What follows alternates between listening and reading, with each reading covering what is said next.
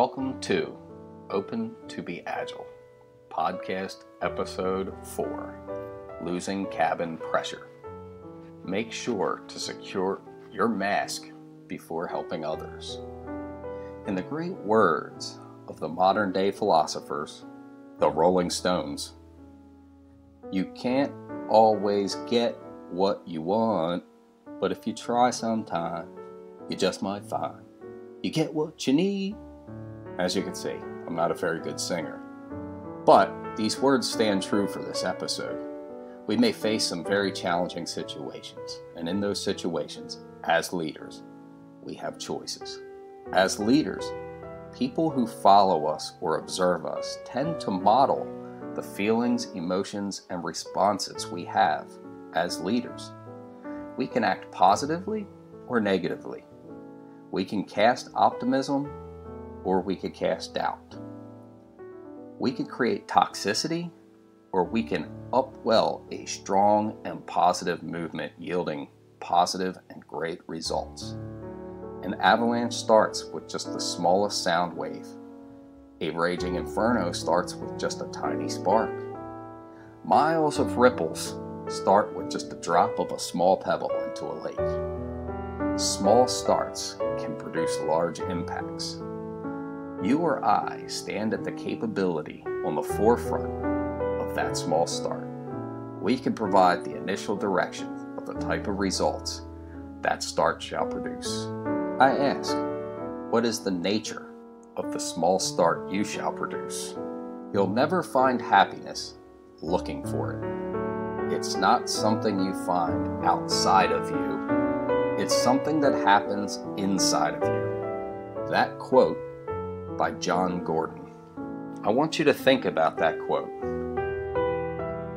As we go through this episode, try to leave your work troubles behind for a moment. Open your mind to good, positive vibe, positive intense.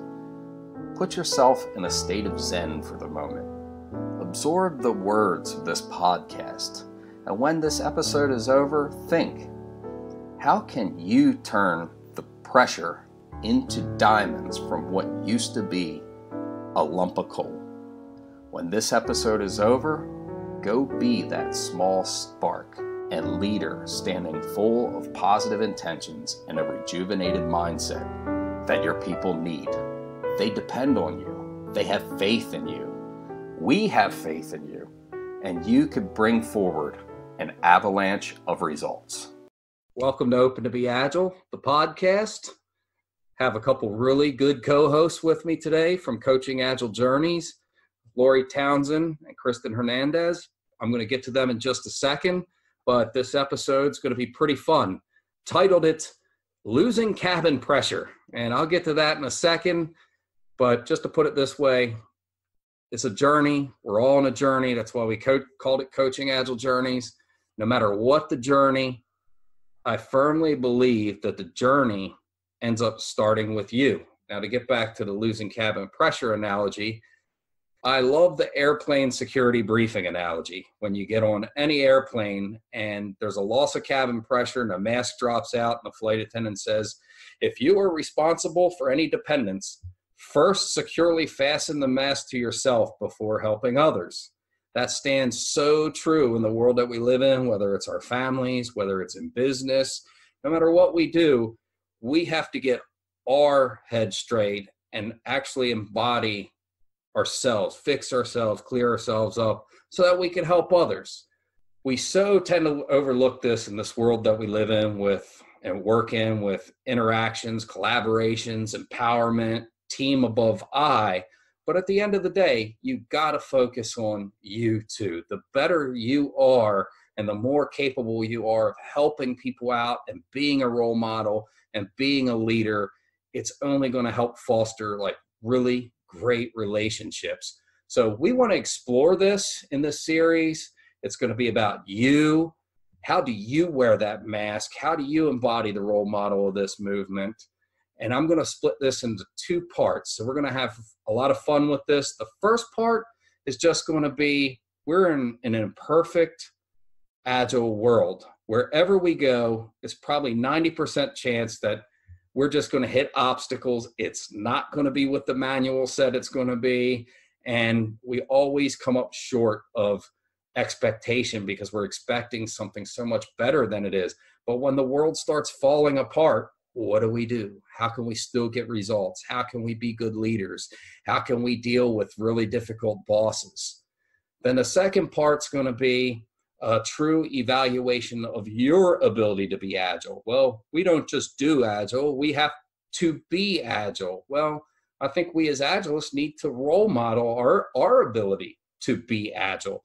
Do we eat our own dog food? And how honest are we at assessing and being able to look in the mirror and say, how am I projecting myself as an agilist? And what kind of a message am I sending to the people around me? And am I being honest about it? Or am I lying to myself and there, there's a different perception? How do we fix that is going to be part two. So, with this one, coming back to part one, where we're at now, I'll read this brief little synopsis I put together, and then I'll let Lori say hi, and then I'll move over and let one of our other awesome leaders, Cristin, introduce herself. So, part one rarely are we injected into a place where agile utopia exists and we could just stroll along smiling peacefully and just be in textbook heaven. The reality is, we all wish to have this. In some cases, our expectations are that maybe the next place we're going to is going to be better than the last. I'm going to seek green pastures. What happens is we hit obstacles there too. We hit challenges and roadblocks impede agile health at every turn. We all go through it. Very few people work in an agile utopia. And part of agile is the continuous improvement never stops. So even if we are in an agile utopia, we will still face problems and challenges. We meet people who are not trained agilists, but will just take command and impose some faux agile, like we're going to do it this way. I know the best way to do it and kind of downplaying the, the main expert agilist expertise. So whatever we do, you know, there, there's even sabotage experts that are just anti-agile. So all these challenges face us. And what we're going to get into today is what kind of tools does Jeff and Cristin and Lori have in our toolbox? What prepares us as agilists to make the most out of really bad situations? And how can we rejuvenate the mind and maybe take a fresh approach? So that's kind of my intro for today. Uh, lori if you want to say hi it's great to have you back again as a co-host. Thanks jeff. Uh, hi everyone. Uh, so happy to be here with with jeff and Cristin today. I'm so excited to talk about this topic. So um, glad to be here. Thanks. Awesome. And Cristin please introduce yourself. This is the first everybody's getting exposure to one of our other leaders. This is awesome yeah, um, I feel really lucky to be part of Coaching Agile Journeys. I was following Coaching Agile Journeys as a participant in meetings for a while and then finally got to be a co host with an amazing team. So I'm excited about that. And I'm super excited about the topic today because it actually lines up with a book that I'm reading right now. So I have a little tidbit to add from the book. So that's exciting. I, I can't wait to hear that. I'm I'm not going to delay much longer. So I'll, I'll get into this, and and really the mask's fallen out.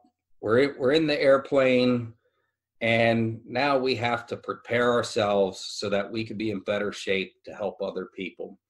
We've inadvertently, in some way, signed up to lead change. I, I think a lot of people, as they get into this, where they go and they take a, take a certification, what they don't understand is you're going to be put in a situation where you're going to be a change agent not just a servant leader, not just someone who's doing textbook scrum, but you're going to have to help lead people through change as an agile leader. You're going to have to, there's those uh, matrices of mentor, coach, or teach. Some, in some cases, you have to actually make very quick decisions.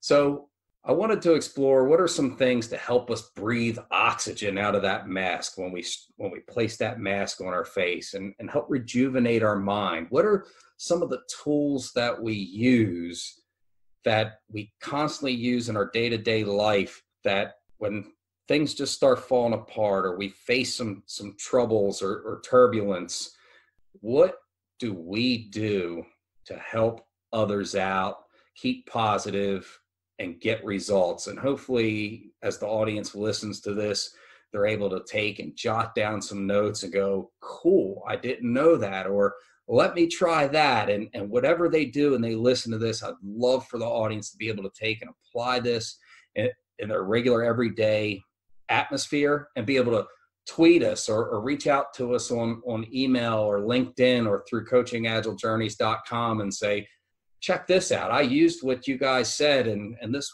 this was the results that I was able to get. And, and maybe we'll bring those results back here to one of our future podcasts and let all of our other listeners hear the, the difference that's, that's being made out there. Cristin, you're you're new with us. I'll, I'll, let you start. What are some tips and tools that you use? So, so the newest tip I'm not going to share first because then I'd be giving it all away, right? I, I, one of the things that I really rely on is listening to audiobooks and podcasts uh, to start my day. So when I used to work away from home, because now I work from home, but when I worked away from home, on my drive, I would listen to various things. And I was in an environment that was quite challenging, very um, command and control, top down environment. And I would find that I would do something in the agile community. I'd have all of this energy. I'd go in, you know, like I had a lean coffee. I'd get in there and people would actually comment on the energy that I was bringing. And then a few days would go by and that it would diminish a little bit each day and then i found podcasts and audiobooks and started listening to those and usually like there were things like creativity inc or seth godin books or like agile uprising podcast things like that and and somehow every single time whatever the message is in the book or the podcast it resonates for that day for me it there's something in it that becomes useful to me for that day so I start my day out with that in my toolbox. Wow, that is that is a great suggestion, Cristin. And uh, you know, I think I'll probably start doing that myself. That's that's wonderful. Uh, one of one of the things that keeps me afloat, just not only in my work life but also in my personal life, is I, I have this this mantra, but really an affirmation that I find joy in all moments of my life. And what i found in in really living in that way is no matter what the adverse situation is no matter what the circumstance is i can always find joy in it whether it's something that i'm learning it's something that i'm becoming more aware of that brings me joy because i'm a constant learner and that's what i get out of it so find joy that's all all great stuff yeah I actually will reflect on a few of the tips that that I have, um, and it came out of podcasts. A, a few are, are, leadership ones that I listen to. Um, Brian Buffini is one of them. Jocko Willink's another one, and another one. Think it's called Motivate. And I listen to some of these leaders, and and they interview people like Zig Ziglar, Tony Robbins, Lou Holtz and one of the things that I heard was things get so busy in the world around you and you can get caught up doing so many things. It's like WIP limits of the brain, right? So one of the things that I have is an acronym called WIN. And I have to use this in my personal life too. And that's what's important now. So if there is a goal that we have to achieve, or I have to achieve, or the team has to achieve, and we get off track or we run down a rabbit hole, I have to stop and go win. What's important now? And I may not be doing the right thing at the moment or having the team focus on the right thing. And I got to re-gear my brain to get back to focusing on what the most important thing should be now. And then a second thing that came out of, of podcasts for just decision making is, is the power of any situation, whether the good, the bad, or the ugly, you're in total control. And I think we tend to lose touch with that because we like to externalize and immediately cast blame and say it's someone else's fault. But we always have the ability to control the situation. We just overlook it. So there's three decisions that any one person can make. I could change it which you could try really hard and you got to give it your best effort. So if that's your first step is to change it, well, then you got to go all in and, and try to change it. Then you're left with, I can live, I'm just going to live with this, right? I can't change it. So I'm going to live with it. And the advice I would put there is if you're going to live with it, put your mindset in a place that you come to grips with the fact that you've accepted reality. It's not going to change, and I can't let this get to me. I can't let this get me down. So if I'm going to live with it, I got to find the happiest way that I can live with it. And, and we do that in, in, relationships, we do that in business, we even do that with our kids, you know, if, we, if we're parents. And then the third situation that you have in your arsenal at the end of the day, and this applies to your personal life as well as business life, is you can leave it. So I've tried, and sometimes if you leave something, it doesn't mean you're a quitter. You always hear that, well, you're a quitter if you just stop that. No, if you choose to leave it, sometimes you're sending a message that, look, I'm out. I'm I'm taking a stand and and I'm done. Or I'm impaling myself on the sword so that I could hopefully spare other people by by making a statement.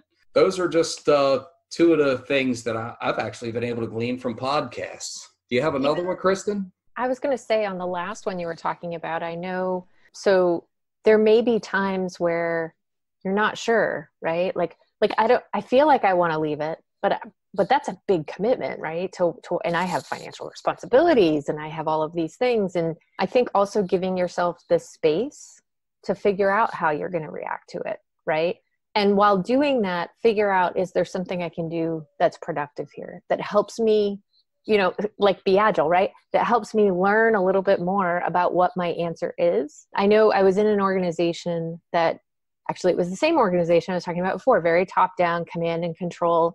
We were doing SAFe. When we did PI planning it was very um, not what PI planning is supposed to be and i and I, it, I struggled. I really struggled. I was like i'm back in waterfall world and this is this is not what i signed up for. This is if i look at my job description this is not what i signed up for. And then i i asked about participating a little bit in the prep for the PI planning and i got my foot in the door.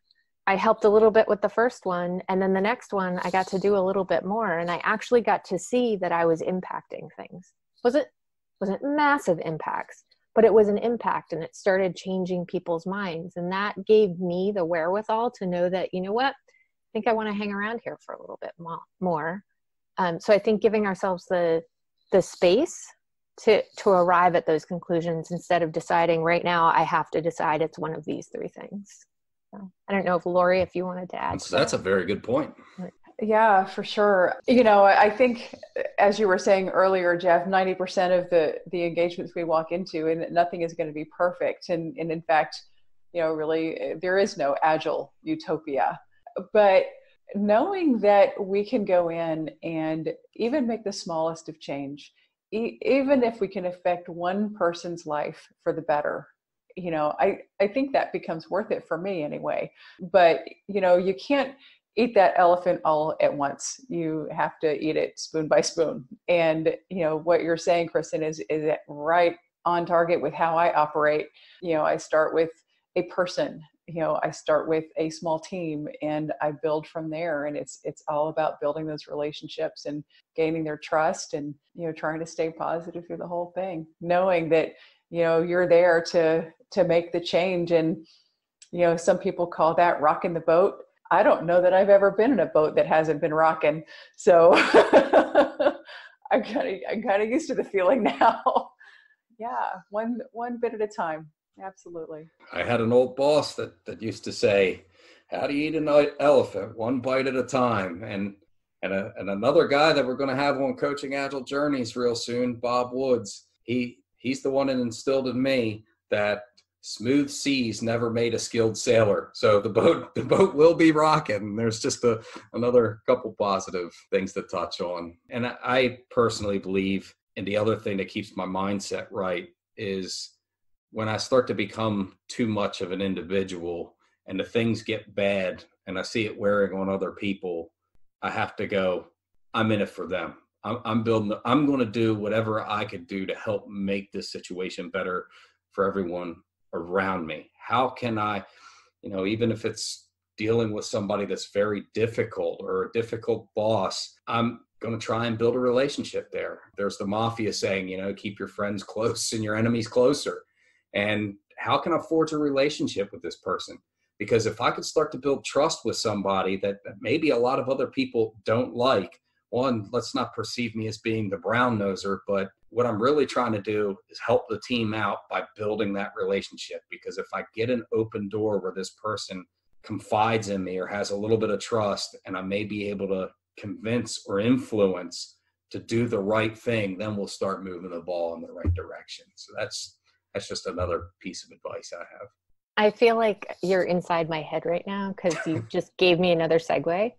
So, so I've you know read uh, the difficult conversations, whatever that crucial conversations. I've read negotiating books, all these, and they have great input, like as far as trying to find the similar goal that you have, so you can so you can get together, right? Like all of us have somebody that we're working with that when we see the meeting show up on the calendar that we have to meet with them, the first reaction is not joyous right all of us have somebody like that right um, and i've i in those situations i do try to find that same goal or whatever but but the toolbox the the uh, the little tidbit i was going to share from the book i'm reading which the book is called Primed to Perform and it's about total motivation is actually quite interesting but they go in a lot to fundamental attribution error right and that's the thing where you you blame a person's character for their behavior in your head, right? It's like a human bias.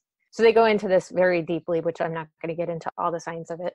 But they were saying one of the really great ways to combat that is when you feel yourself pegging a character flaw as the reason for somebody's behavior, stop and try to imagine a list of five reasons that have nothing to do with their character that could justify the behavior, right? Maybe they think this maybe this just happened in their life or something like that to allow you to kind of like step back and then have a more productive conversation with them. And i feel like that goes a long way to what you were saying jeff like building those relationships but also you're leading by example right? So so people are going to hear those things and you're sort of demonstrating that more collaborative behavior. And I, I think that's very powerful. I I love that, Cristin. Yeah, I I think that that could go not only in your work life but in your in your personal life as well. That's really powerful. Thanks yeah. for that. So, do you have any other tools, Lori, that that you like to use or to keep keep your mind fresh and stay positive? Well, one of the things that really, really charges me up um, is meeting with my Coaching Agile Journeys co-hosts. Um, I and I seriously mean that.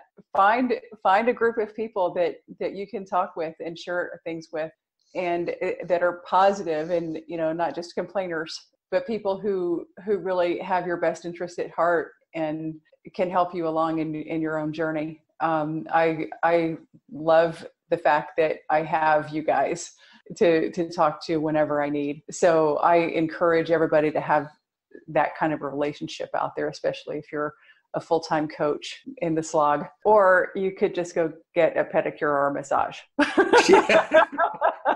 De-stress really. Absolutely. Take your mind off self-care is important.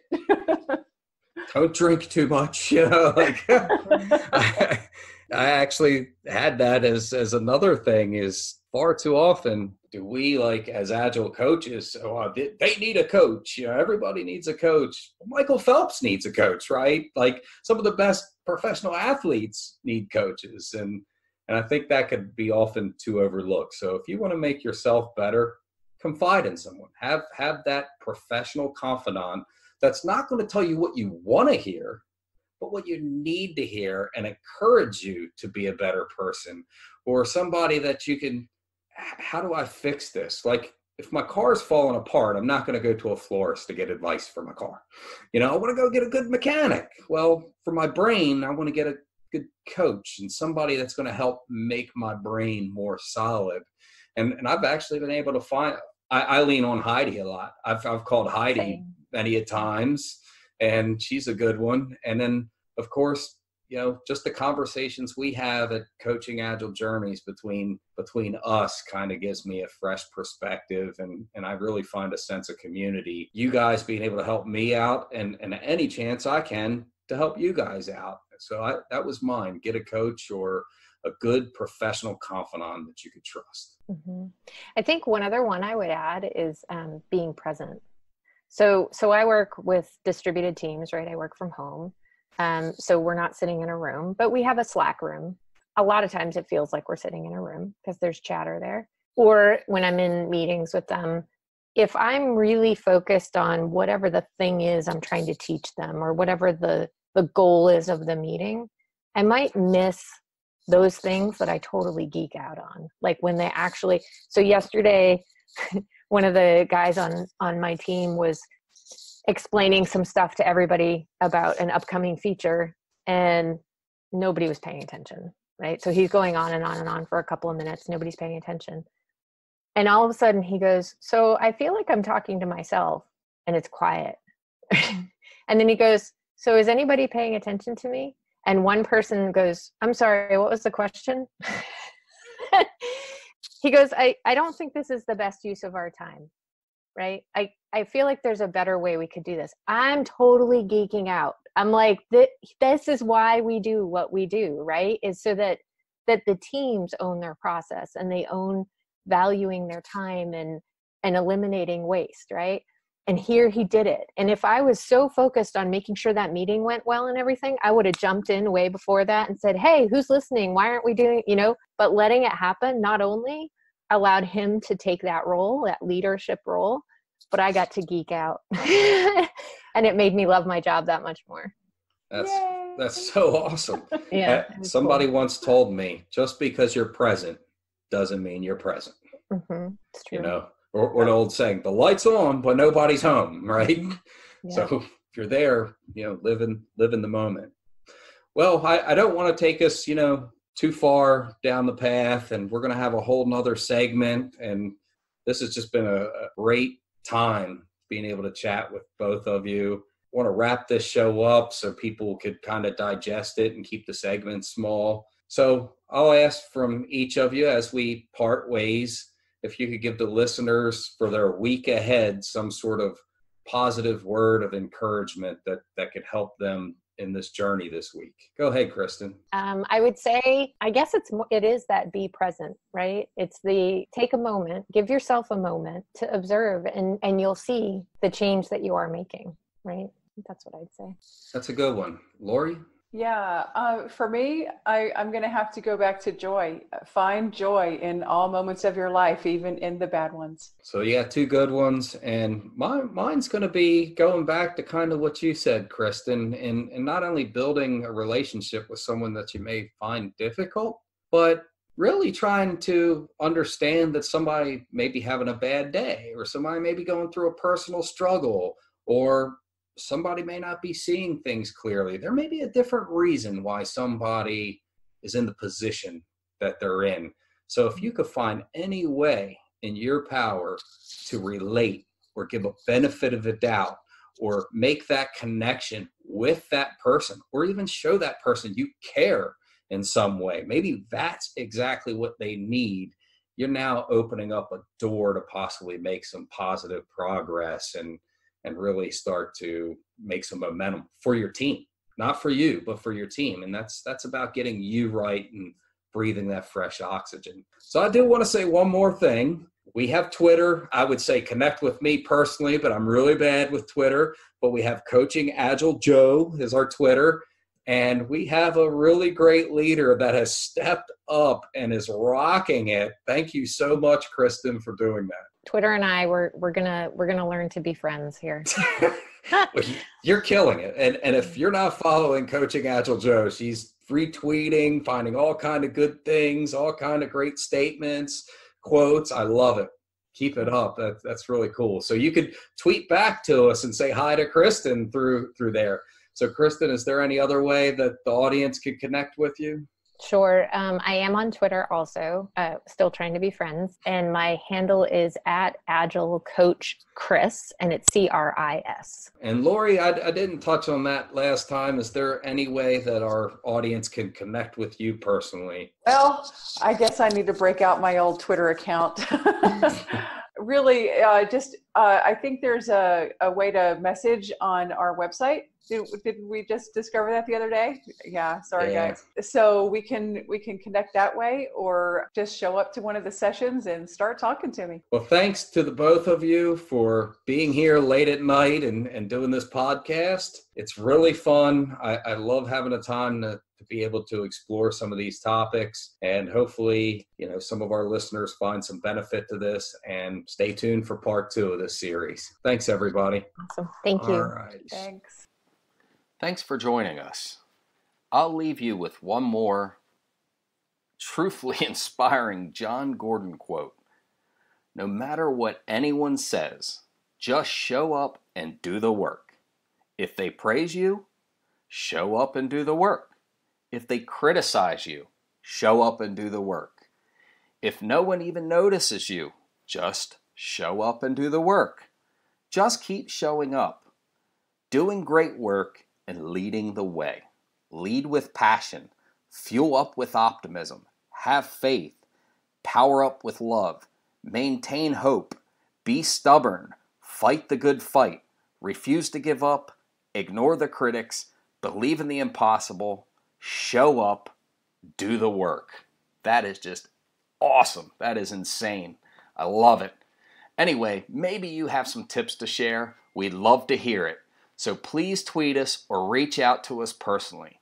If you were able to use something that we've shared here today and have a success story, we'd love to hear that. More importantly, if you're open to us sharing it here with the Agile public, that would be great too. People love hearing a good success story. So join us next week for part two, where we'll explore the soft skills and emotional intelligence you harness. Thanks for joining us here at Open to Be Agile, the podcast. Have a great week ahead.